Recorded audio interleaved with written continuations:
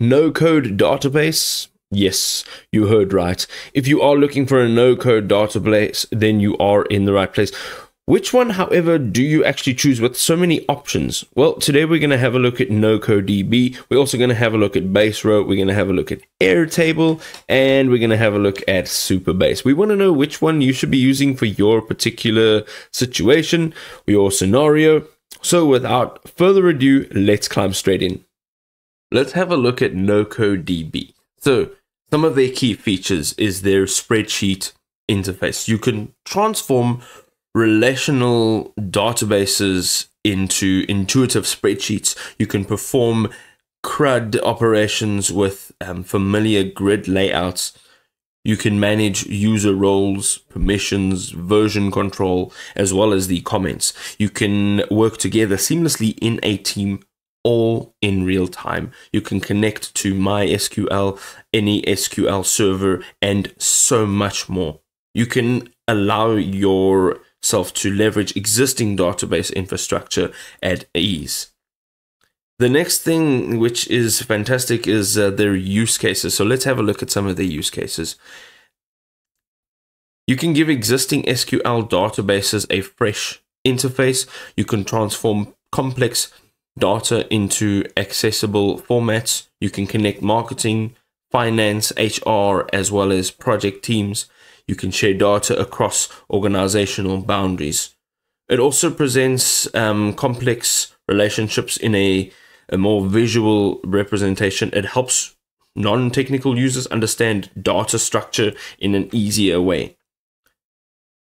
You can connect and sync data with external applications as well, enabling problematic data access um, you also get to share information between applications, which creates unified workflows across all of your systems and unify multiple database resources. You can build comprehensive enterprise solutions with this. The last thing over here was the no code database. Of course, it builds databases without programming knowledge. You can use intuitive spreadsheet styled interfaces, which is a lot easier to use for the average person. You can work together with your teammates simultaneously. You can see changes as they actually happen. You can manage also who can view or edit your data. You can implement your role based permissions, which is great. And it streamlines repetitive tasks and creates triggers for common actions, which can save you time and ultimately a whole lot of effort. Baserow also excels in organizing um, product catalogs, CRM systems, and inventory management. It's ideal for education, NGOs, and businesses needing affordable database solutions. You can see over here it has in um, a plug-in architecture, so it extends functionality with custom plugins. You can connect with Zapier, N8N, and webhooks and you can interact with external apps and services with its API access. Let's have a look at Airtable now. So Airtable allows you to switch between the calendar, the Kanban, gallery, and timeline views easily. You can visualize data in a more useful format and it's better for for you. You can start quickly with templates for project management, content calendars, and even CRM systems, and you can create custom workflows as well as automated processes. This reduces manual work with smart triggers. Companies like Netflix use Airtable to track content creation workflows. They manage their assets from concept to publication, which is awesome. You can plan, execute, and measure marketing initiatives. You can coordinate team members and track campaign performance. This helps you organize your feature requests, your bug tracking, development sprints, and keeps um, product teams aligned on priority. It also centralizes information for distributed teams, which enables collaboration across time zones, locations, whatever else is dividing. Airtable also offers communication tools, so you can actually integrate it with Slack, Microsoft Teams, or even a built in email service.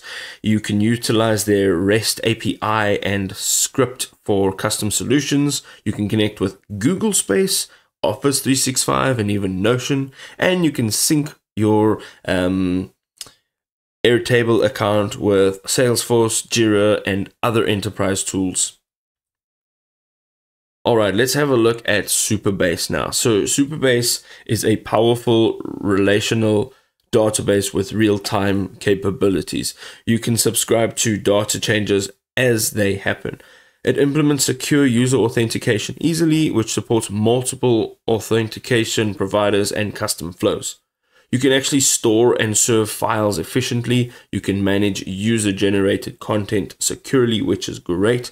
And you can manage all your databases through an intuitive interface, uh, which allows you to write and execute SQL queries directly. Supabase also has a bunch of very particular use cases and some integrations. So Supabase connects seamlessly with React, Vue, Flutter, and modern JavaScript frameworks. Developers can actually build front ends with familiar tools. It has API support, so it includes both REST and GraphQL options. This flexibility enables diverse integration approaches and some of their popular applications. So, rapid MVP developments for startups, scalable uh, SaaS product uh, backends, real time analytics dashboards, and IoT device data tracking systems, as well as mobile app backend infrastructure. The last thing that we're looking at over here is some of their advanced features. So this goes beyond their basic features. First of all, you can deploy serverless functions globally. You can run code closer to users for faster response times. You can implement granular access controls, which protects sensitive data with custom policies. You can store and query embeddings for AI applications, which enables semantic search capabilities, and you can trigger external systems when data makes changes. So you can create event driven architectures seamlessly. So there we go. With so many options available, it's often difficult to make a decision and um, stick to the decision. My advice always is to try all of your options, even if it is for a short amount of time, just to see what actually works for you with a more hands on approach, and then make a decision thereafter. Just remember that we're all individuals and we all have individual needs. If this was really helpful, drop us a like, and we'll see you next time.